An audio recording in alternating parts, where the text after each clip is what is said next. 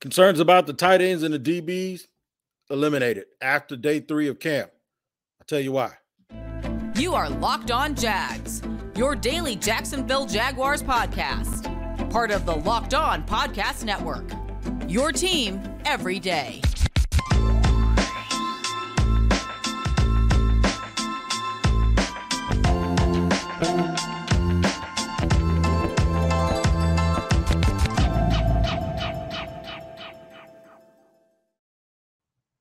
Thank you guys for joining us here on Locked On Jaguars. I am Tony Wiggins, the host of the daily Locked On Jaguars podcast for the Locked On Podcast Network, where we're free on all platforms.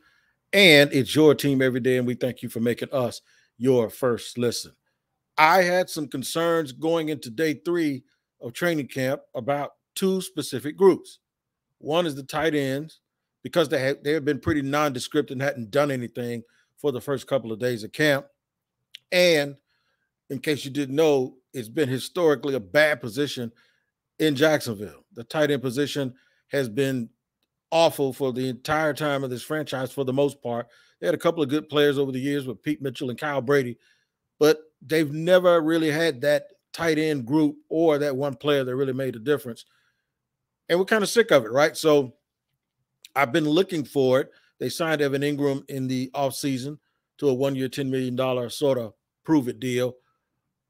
They shocked me today. Evan Engram looked really, really good. So did Dan Arnold and uh, a couple of other young guys. They made a lot of plays. So we'll discuss that. We're also going to get into the other group that I said on a previous podcast, I believe it was yesterday, that if there was a concern or some sort of Achilles heel or potential for an Achilles heel, that would be the DBs. Nope. They showed up again today. Now, I know the question is how uh, did the DBs and the tight ends play well? Because most of the time, tight end is guarded by linebackers. So it doesn't mean the linebackers struggle. It just means guys made plays when the plays were there to be made without any drops. Um, and they went up and made some catches that were absolutely outstanding, that were a little bit beyond the X's and O's. So we're going to talk tight ends we're going to talk DBs. I'm going to tell you why I was concerned about both groups in segment two and three. And I'm also going to uh, tell you why those concerns, at least for today, were a little bit alleviated. I'm going to get into right now, though. Press Taylor did a press conference prior to practice, and uh, first round pick Travon Walker did a number one overall pick. He talked at the end of practice. So I'll get you caught up with those things before I actually get into the tight ends and the DBs, the concerns, and then why I at least have a little bit of reprieve for those concerns after today's practice. Press Taylor was very, very impressive uh, this morning in his presser. Let me, I said Press Taylor and his presser. Ain't that something? But I, I will tell you this, man. If a guy sounds like someone who can be a future head coach, it's him. He looks the part, sounds the part, everyone sort of does. I used to say that too about uh, Brian Schottenheimer, and then he got fired, and then uh, two years later he became the head coach of the Denver Broncos. So there's a way if you go to a successful team or if you start to have some success, guys can actually sound the part, look the part. And Press Taylor is very, very impressive uh, behind the microphone, how he gives out a little bit of information, how he answers the questions. And the most impressive thing, in case you guys didn't hear it, of course, you can always check it out on jaguars.com. He spoke about how Trevor Lawrence and his day to day progression on the field, transferring things from the classroom to the meeting room from the film sessions, and then actually improving on it the very, very next day. There was a point where he said this morning where Trevor had completed a pass, and I was there yesterday he completed a tightrope pass about 25 yards down the field to Christian Kirk.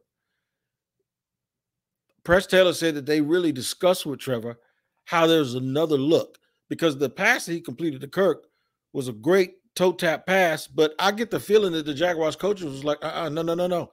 That's not going to always be there, and it's a little too risky, even though it was a great play. Here, let me show you what we need you to do. We don't always need you to make that big play. Here's that play. Look, this guy. So the very next day, Trevor comes out, does it just like that.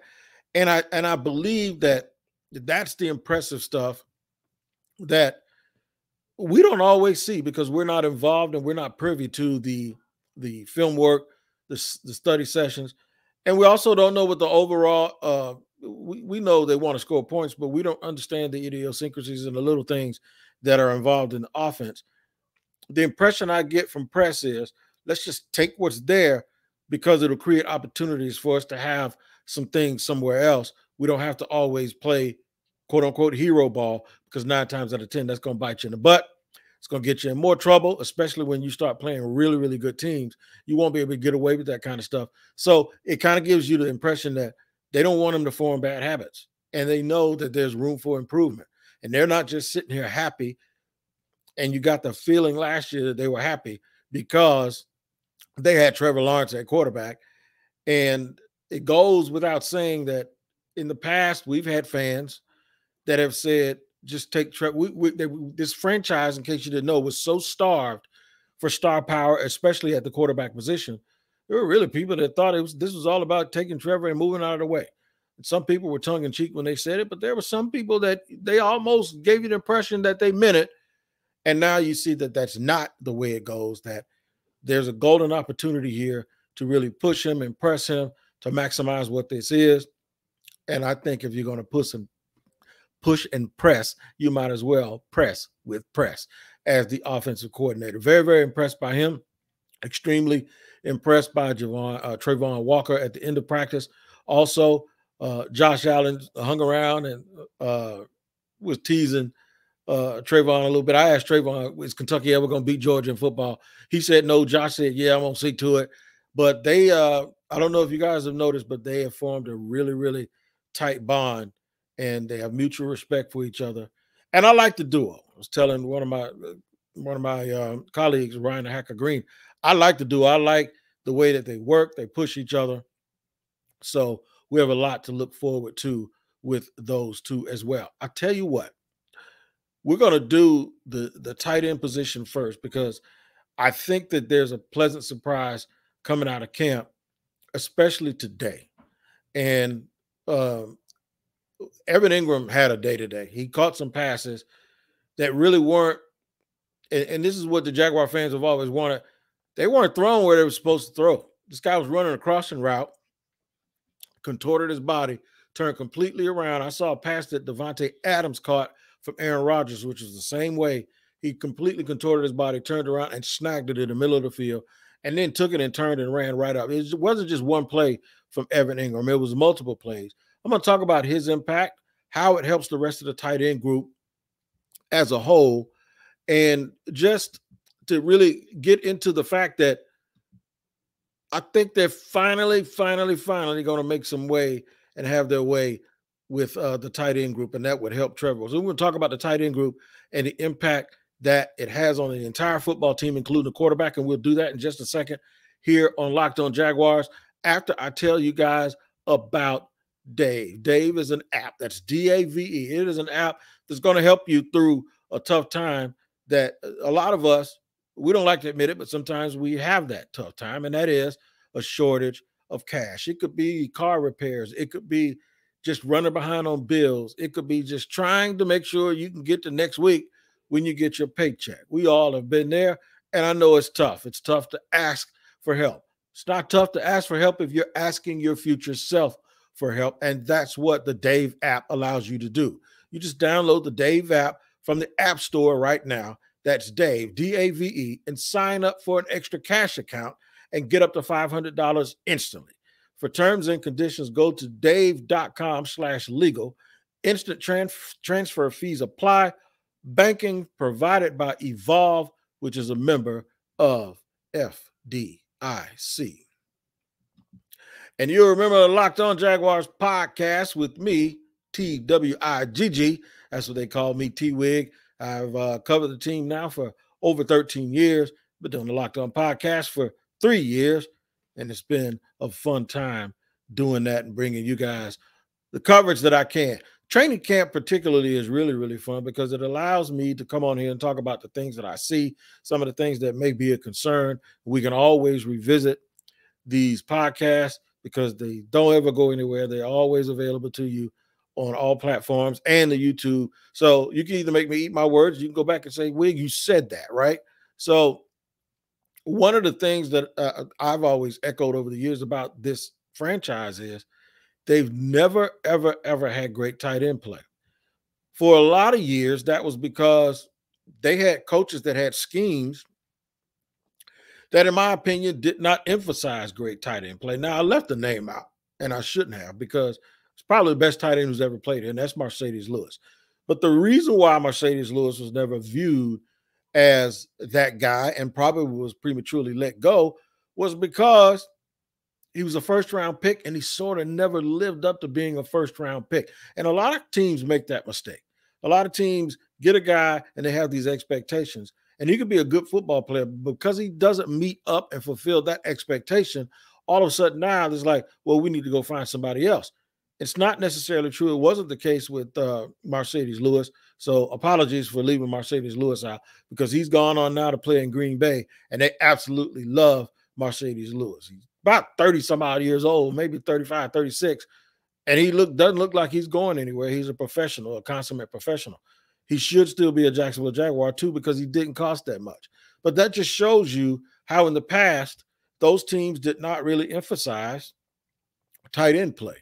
You could go around the league and, and look at teams like Baltimore. It seems like they always have a tight end. Philadelphia always have a tight. Whoever Andy Reid has always coached, they've always had a tight end. Dallas always has a tight end. It's just some team. New England seems like they always have a tight end, with the exception of two or three years ago, and then they got another one. But it just seems like there are organizations that they always seem to find impact players at that position. And the Jaguars have been one of those teams that it's escaped them. They haven't been able to get that. They haven't had that. They got Dan Arnold in a trade last year. They had uh, Shaughnessy. He's not here anymore. They drafted a kid last year in the fifth round from Ohio State. He's making, you know, he's making himself known a little bit. They signed Chris Manhertz last year in free agency to a two-year deal. He's a former basketball player who happened to catch the first touchdown of the 2021 season First touchdown was scored by Chris Manhertz, and if you bet that, uh, you, you won some money.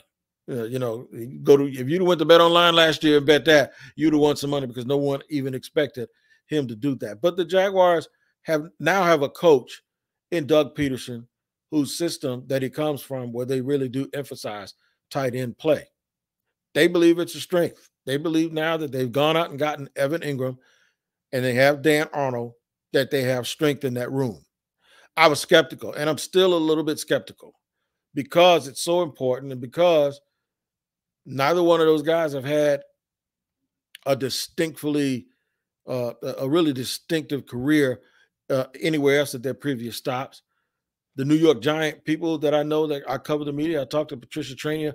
Uh, I at least tweeted with her about it and uh, we changed messages. And, and, for some reason, uh, the Giant fan said that he's a great guy. He just couldn't catch and he couldn't stay healthy. What's going to be the difference here in Jacksonville? That's a great question because until today, I had not seen much. I'd heard him speak and I'd heard him talk a lot about uh, the things that he wants to do, and the team really put him at the forefront. And I talked to some guys who covered Philadelphia, guys like Mike Kaye, who used to be here in Jacksonville, who have talked about how in Doug Pederson's system that Zach Ertz spent a lot of time, uh, over 50% of his time lined up, isolated at wide receiver. And he'd have a safety and sometimes even a linebacker on him because of some of the pre-snap stuff. And those advantages are the things that you have to look forward to. So I try to take Evan Engram and I try to sort of plug him into that role. And I'm like, how is that? Is that going to work? Today at practice at, the third day of training camp, it was working. And when I tell you it was working, it was working.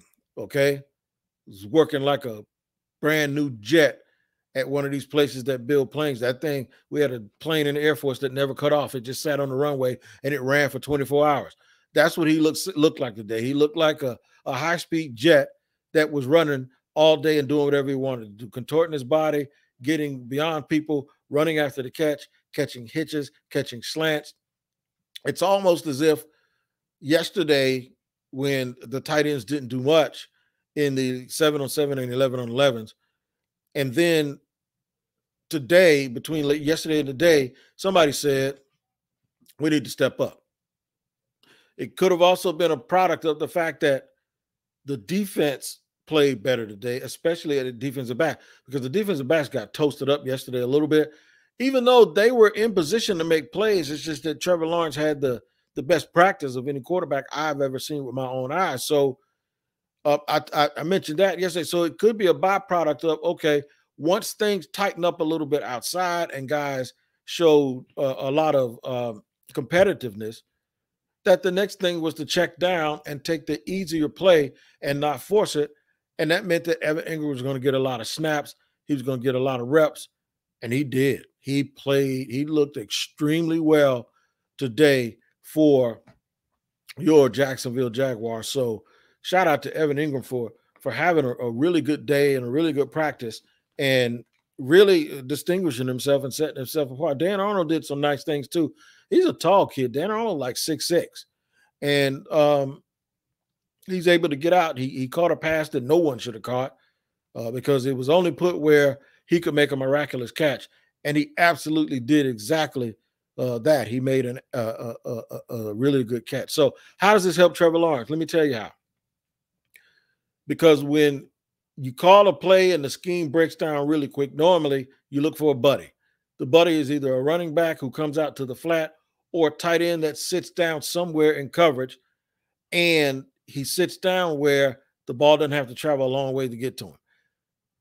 The more guys you have that can do that, the more guys you have with the scheme versatility that allows them to find those little pockets and create situations where they might only get five yards, but now you're in second and five, or they may get five yards on on second and seven, and now you're in third and two. That you're in third, you're in that short situation. It's also going to help in the red zone. It help. It'll help in the red zone where you'll have those guys. And Tom Brady has made a living, obviously throwing to Gronk, and and now he's doing it down in Tampa, where you're throwing. Uh, you have these mismatched throws, and you're throwing to these taller guys that can get a little bit of separation in the red zone, but they can high point the ball. So that's how it helps the team. Evan Engram's ascension to number one really helps because now you can let Chris Manhertz do what Chris Manhertz does best, which is block and then occasionally sneak out and, and use those basketball hands to make a catch. And the other thing is, you're not asking Dan Arnold to do something that his talent level probably suggests he can't. You're asking him to play a role as opposed to being the lead tight end. So Evan Engram has a chance to do that. He has a chance to really provide a lot of scheme versatility to this team. And he had a day today. And I told you that I was going to be honest with you. Yesterday, I said I was going to talk about the tight ends. You can catch the end of the episode. I said we're going to talk tight ends and DBs. And I be dang it if those guys didn't actually give us something to talk about other than just the concern. DBs, what did they do? They played better today. It seemed like somebody whispered in their ear, y'all need to compete. And it wasn't just the frontline guys. I'll tell you, everyone who it was in just a second on Locked on Jaguars. Before we get to segment three, I want to let you guys know about Bet Online. It's the fastest and easiest way to check in on all your betting needs, find all your favorite sports and events at the number one online source for odds, lines, and games. Find reviews and news of every league, including Major League Baseball, NBA, NFL, NHL, esports, golf, and combat sports. Ask yourself, Terence Crawford and, and uh, Errol Spence going to ever fight? And will it be the biggest fight that we've seen in a long time? I know it'll be the biggest fight of two guys in their prime uh, in maybe a, a couple of decades. So I'm looking forward to that. But you need to head to Bet online today or use your mobile device to learn more about the action that's happening today because it continues to be the top online resource for all your sports wagering information.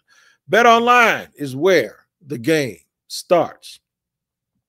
You start here with us here on Locked On Jaguars every single day, Monday through Friday. We're back into the groove now, making us your first listen. But your next listen should be the Locked On NFL podcast. You can find it wherever you find Locked On Jaguars, you find Locked On NFL. I am a host uh, on Wednesday along with James Rapien, but we have hosts every single day. And it's guys from around the country, and it's a broader perspective. It's not just talking about Jaguars, it's talking about everything. So make sure you check in and tune into the Locked On NFL podcast, wherever you get your podcast.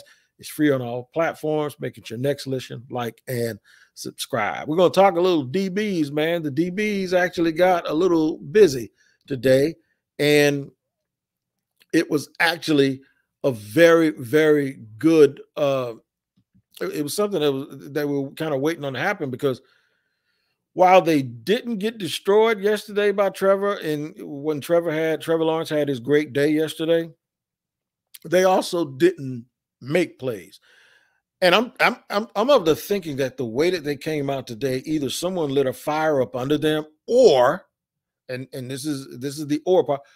If someone didn't light a fire up under them, what they did was they realized when they went and watched tape or watched film that they weren't competing and iron sharpens iron. And we just can't let these guys get away with the things that they're getting away with. We can't just let these guys do us any type of way. So you saw them fight back. I've warned everyone in the past that there's no reason to get a, get concerned during camp because someone has a bad day. That's like getting concerned that back in the day during the Michael Jackson video when someone couldn't get the steps. Before they shoot that video, before they go on stage, you can bet that choreography is going to be what it's supposed to be. Yesterday, they probably felt like, well, damn, ain't nothing we can do about these throws. And the little coach on their shoulder, or either their coach told them, like hell it ain't, you better go compete and you don't concede or give up anything. But they came back today with a vengeance. Guys were batting balls. They were they were basically, and it was it was more than it was Tre Herndon, it was uh Jones, it was Thomas, the safeties. Uh, everyone was competing. I'll tell you who had a day. I'll tell you who had a day. And that was Tyson Campbell every single time, every batted ball at the by the end of practice during that last session, we were on the sideline, and I think it was uh, Jordan DeLugo or Demetrius or Harvey or someone. We were all talking, and and someone made an interesting ob- observation. They said every time Trevor has gone deep down the sideline, all of his batted balls came from one person, and that's Tyson Campbell. That is a development because where Tyson Campbell struggled a year ago was, and this is before they kind of backed him up and they started playing differently.